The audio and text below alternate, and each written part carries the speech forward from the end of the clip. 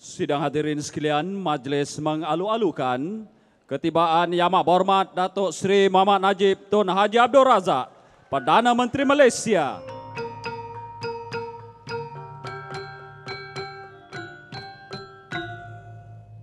Jangan lupa siapa kita Melamburi hilang semua Berkatilah kehadiran kami dalam Kongres Budaya 2017 ini. Berkatilah jua usaha-usaha kami. Kurniakanlah kepada kami limpahan ilmu yang, ber, yang berguna dan kefahaman yang benar.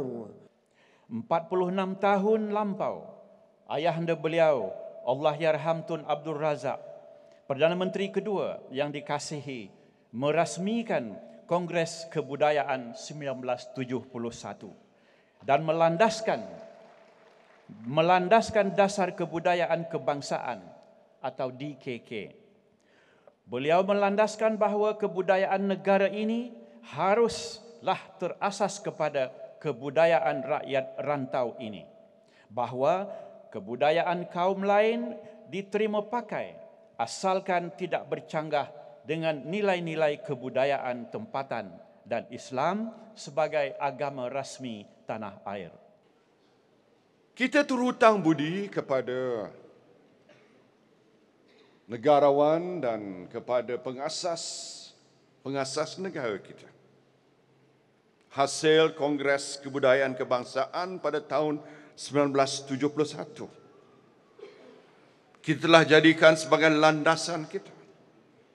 Tetapi setelah negara kita berjalan sekian lama, 46 tahun, hampir separuh abad, sudah tentu abad, sudah tentu kita perlu melihat semula. Sebab itulah Kongres Budaya 2017 ini amat tepat. Malah Kongres ini boleh dijadikan sebagai input juga kepada hala tuju TN50 yang kita impikan, yang kita hasratkan. TN50 ini, saya impikan, ya saya impikan sebuah masyarakat Malaysia moden yang saya katakan hasrat kita ialah aspirasi kita nak jadikan Malaysia antara negara ke-20 terbaik di dunia. Top 20 nation. Tapi top 20 nation itu bukan saja dari segi GNI per kapita, dari segi teknologinya, dari segi infrastrukturnya, tetapi juga dari segi ketinggian budaya dan moralnya.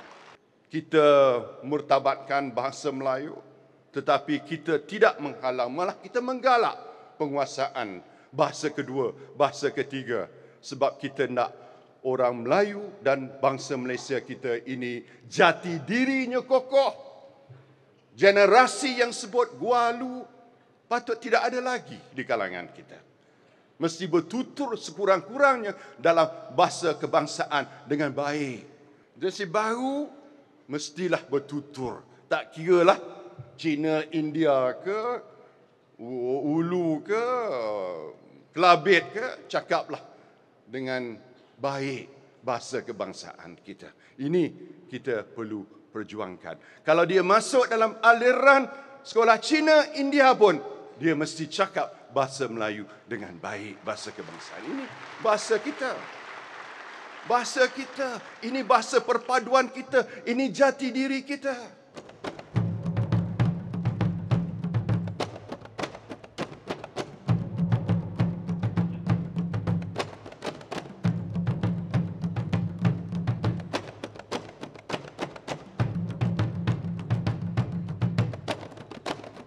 Dengan hormatnya mempersilakan Yang Berbahagia Tan Sri untuk menyerahkan resolusi Kongres Budaya 2017 kepada Yang Berhormat Perdana Menteri.